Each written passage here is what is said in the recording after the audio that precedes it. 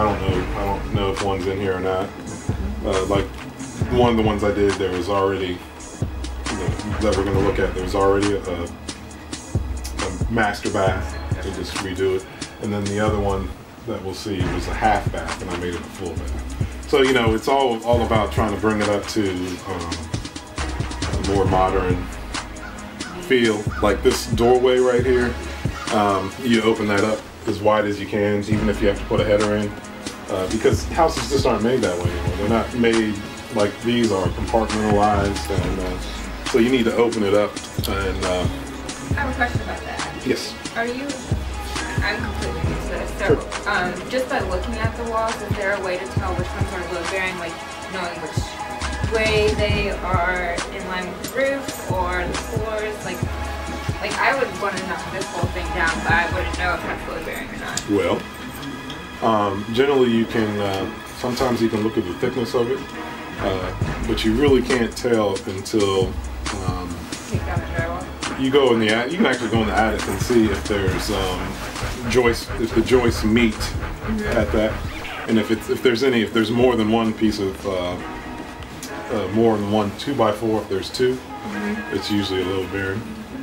And then you can. But let me let me just say this: you probably need to get someone who really knows what Well, they're right, doing, right. Uh, whether it's an architect or a contractor. Because a lot of times you might think, you know, even I've been wrong, but I don't look that hard. I have people that work work that can figure it out for me. Um, but generally, I'll um, I'll open that up as much as I can, and um, you know, just try and modernize it. Uh, I bet you there's probably hardwood under here that, that looks pretty good. Good, yeah. Um, but the thing that happens is people leave the windows. Like the windows, you don't have to replace; those are actually good. Um, and, and that's what I'm saying. This is like an easier rehab, not easiest. I mean, you know, getting wallpaper off is a task. But the Attach ceilings are in good shape, which a lot of times is an issue. Yep. There's no, looks, uh, appears to be no leaks.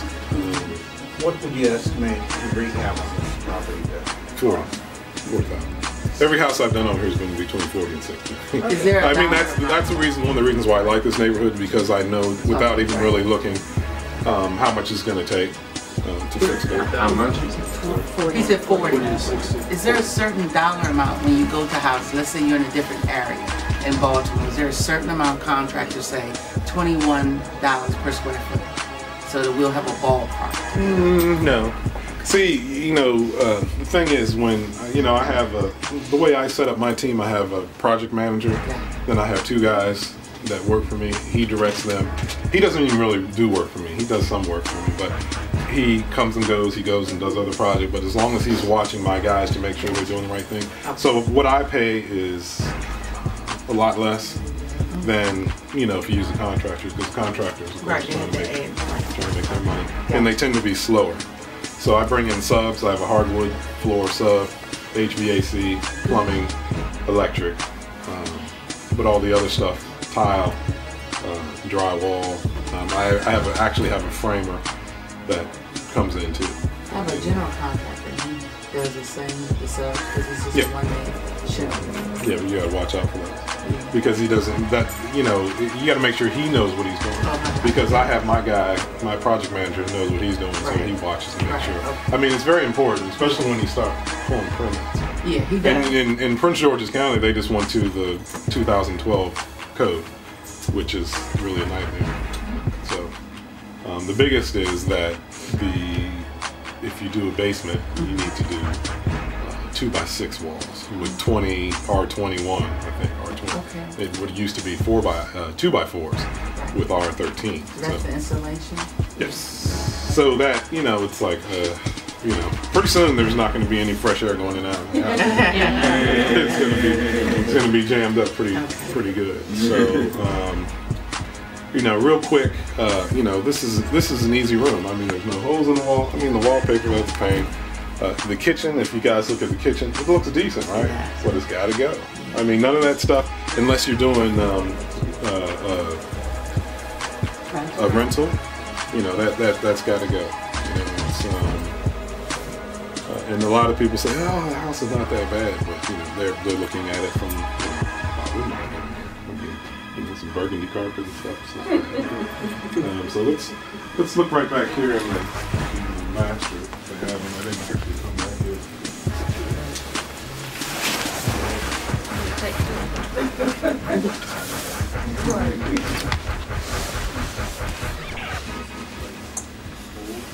This is this is a, this is a great house to do. It's already got a full um, a full bath in the master, and it's it's actually a good size.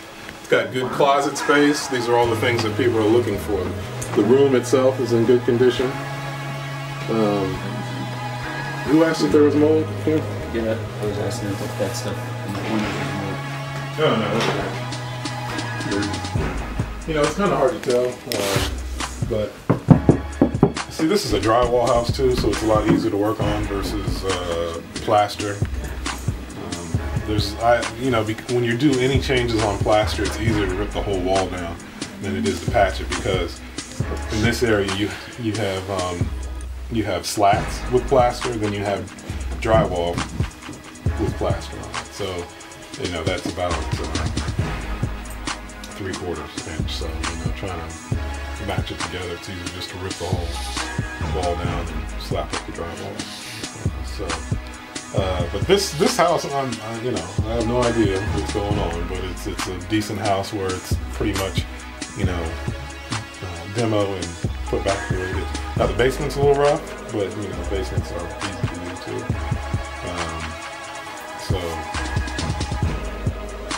who's got money? Who should buy this? How much is it?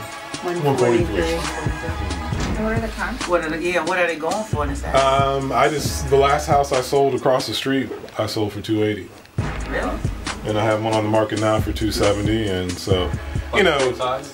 uh, larger, a little larger, but you know, this is I think eleven hundred square feet or something like that. Um, but you know, you're you're in that same, you're in a range. You know, these are all well, mostly ramblers with, with basements. So, Are you they know, it's selling them? How fast are they on, on the market? How are they, fast are they? Uh, my average market time is 19 days. Not bad. So, you know, it's, And who sells them? I do.